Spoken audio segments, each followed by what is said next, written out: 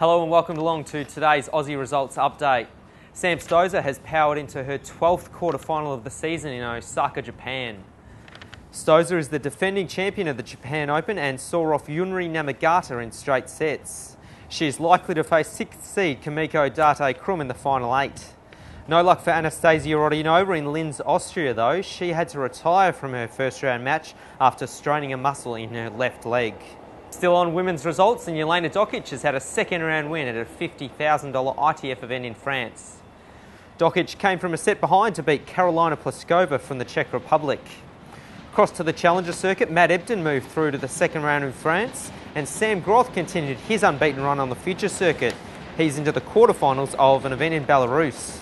After scoring a silver medal at the Commonwealth Games last week, Greg Jones returns to the Challenger circuit in California this week.